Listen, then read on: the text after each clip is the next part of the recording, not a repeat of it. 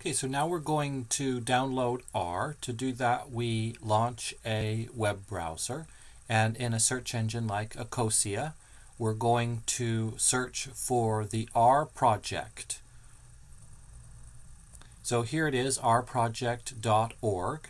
We're going to go to it, and then we're going to click download.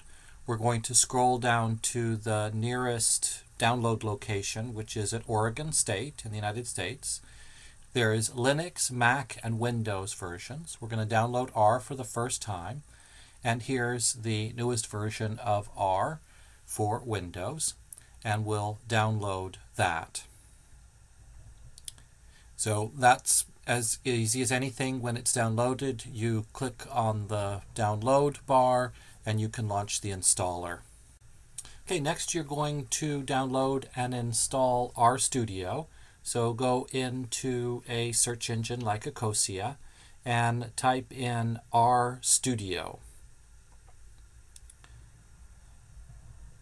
RStudio is a professional application. It cleans up some of the work extracting files. We're going to download the free version and it senses our system. If you scroll down, you get other options, but here is the Windows download.